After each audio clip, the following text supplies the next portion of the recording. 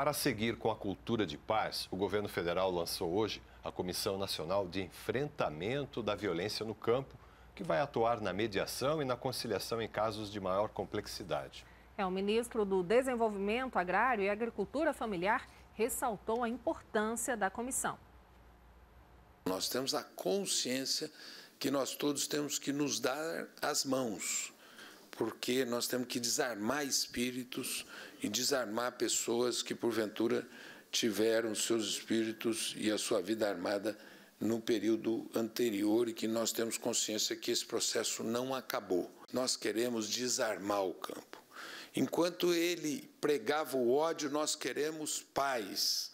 Enquanto ele pregava e desagregava, nós queremos agregar as famílias brasileiras para produzir alimentos de qualidade para servir na mesa do povo brasileiro e dar paz para as trabalhadoras e trabalhadores rurais, para os indígenas, para os quilombolas, para as mulheres que estão no campo cada dia mais liderando.